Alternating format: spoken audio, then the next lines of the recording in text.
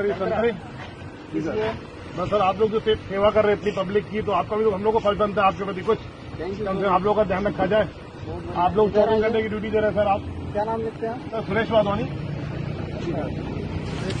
है मेरा ABC super market अच्छा जी sir ji sir.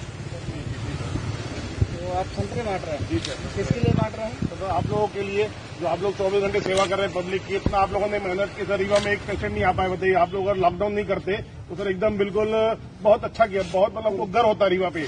Well thank you thank you very very अच्छा काम कर रहे हैं बहुत अच्छा काम कर रहे हैं। आप ये बताइए पुलिस वालों को दे रहे हैं जो नीट सबको सबको जो भी है सामने सबको दे। गरीब लोग हैं सबको सबको पूरे लोग कल आपने क्या बांटा था? सर कल अपन ने नमकीन बांटी थी अपन ने सबको। छह सौ पैकेट अपन ने नमकीन बांटी रहे जी सर।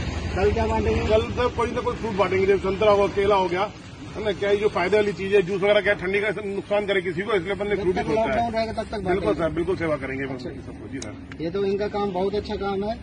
इस तरीके से यदि जनता काम करेगी इस तरीके से लोग आगे आएँगे तो निश्चित तौर पर हम जो है कोरोना से फाइट करेंगे कोरोना को भगा देंगे और आप सभी लोगों से अपील है जो सक्षम है इस काम को करने के लिए जो लोगों को मदद करने के लिए वो मदद करें। हमारे सुरेश भाई है इन जैसा बने ऐसा करेंगे प्राउड होता है हमको प्राउड होता है कि हमारी भारत देश की जनता इस तरीके से काम करती है।